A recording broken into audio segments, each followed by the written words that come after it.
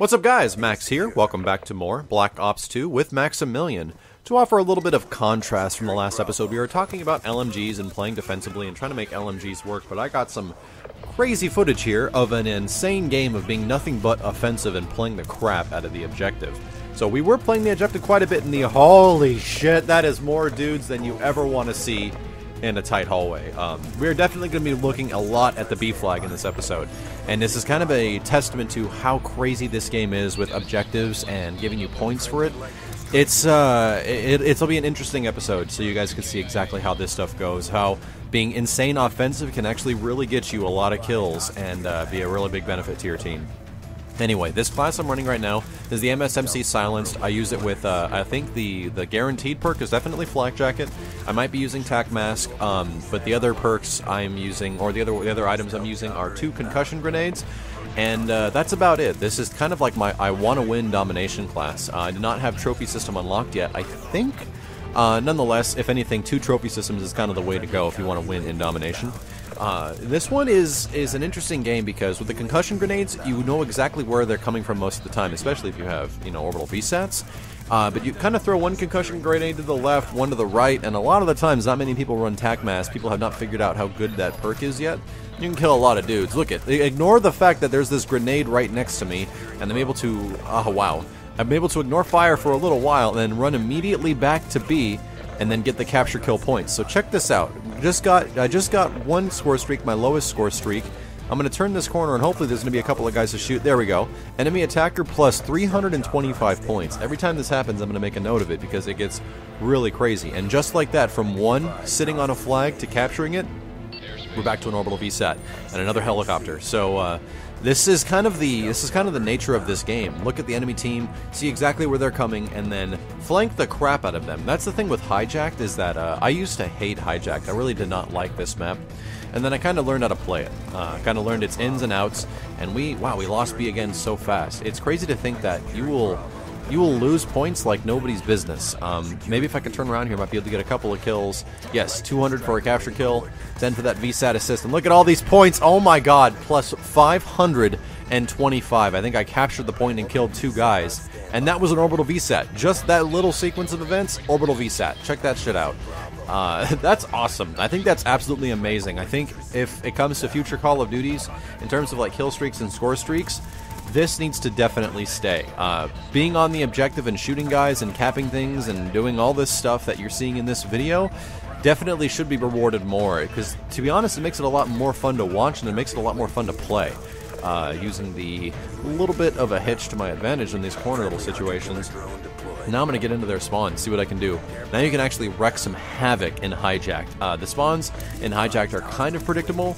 Uh, they're not entirely controllable because it is such a small map, but what I'm going to try to do before this round ends, we only got about 30 seconds left, is to uh, get to another orbital VSAT so we can start the next round fresh. Um, I know right now that if I run out there into B, I'm going to lose that orbital VSAT, so we got to be really careful and run around their spawn a little bit, and there we go. Got the stealth chopper, got the OVSAT, and we're ready to rock in the next round. So run straight into B at the beginning of the next match, and uh, see if I can't possibly pick off a couple of guys here before I turn in my, uh, my lightning strike. And here we go. Oh my god, dudes are sitting on top of the flag amongst other dudes. So once again, capping fleet, capping B, capping fleet, and killing another guy. Uh, and that has almost brought me, check that out, just had an OVSAT, and it just almost brought me back to the lightning strike. Dude, that's crazy. Absolutely crazy. The dude misses his light knife lunge on me, uh, gets shot in the process. And the problem is with looping your score streaks, I just used an orbital VSAT on top of an orbital VSAT, and that, that does happen sometimes. Uh, in this game, remember in the original Black Ops when you got a Blackbird, and the game told you you can't put your Blackbird up, there's too many Blackbirds in the sky? Something like that? Well, that's gone now. Um, get another capture kill, 200 points, ignore the grenade, and where are they coming from? Where are they coming from? Nonetheless, we got the enemy position secure, and I am back to another lightning strike. Uh, now you can actually overwrite your Blackbirds or your orbital VSATs. It's kind of a bummer. You have to be really careful about which score streak you're using, especially when you're like looping stuff like this, and you're throwing things out just constantly and non-stop throughout the entire match. You got to be pretty damn careful. Um, there's me and the MSMC running out of ammo once again, and these guys got B again. Oh my god, dude! So these guys are playing the objective just about as hard as we are right now. Um, I'm not even sure how many times I've actually capped B. I would actually really think it'd be cool if they gave you more points for capturing the B flag in domination, like 25 more points. That might be a great way to incentivize the stuff a little bit. Oh my god, I'm stuck, but all the points, it doesn't matter. I was at the lower end of that score streak anyway. So, once again, I have another lightning strike and another helicopter to go into the air. Uh, it's kind of like every single time I was able to do something during this game, I was either setting out a helicopter or waiting for the helicopter for, to let me set it out and running to B and trying to cap it. This game is still close. It's still 133 to like 29 at the moment. So this isn't this isn't by all means a dominating game. We kind of had to work our asses off and run to the beef like non-stop.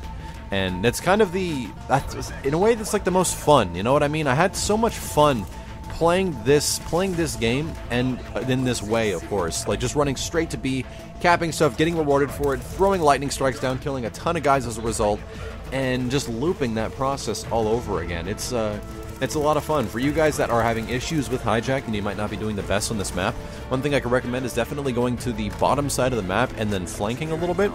Uh, what I usually end up doing in this game is I'm, I'm, aware of that, so I will run over back into our uh, our cabin where our spawn is and try to uh, take advantage of that and shoot a couple of guys down. But it ends up being a pretty controlling game in the very end. Uh, if you if you're a little clever about where the enemy is used to uh, the the opposition being, oh my god, dude's just shoved in there like they're a freaking clam. If you take advantage of those moments where the opposition knows that a lot of enemies show up from this area, I'm not going to show up from that area. I'm going to show up from a spot that people don't always die from, you know what I mean? And it's hard to think about that a lot of the times, but once you get used to it, it becomes much easier to understand um, exactly where you should be putting yourself to prevent death. And here's one of those guys trying to make it through uh, to the bottom side to get into our spawn, and not going to have none of that, especially with an orbital VSAT. So a fairly successful game and kind of a crazy score in the very end as well. I think we finalized this game going about 104 to 7 with 7 captures and 38 freaking defends. I think that's a new record as far as defends go. If you guys enjoyed the video or enjoyed the gameplay, please leave me a comment or a thumbs up.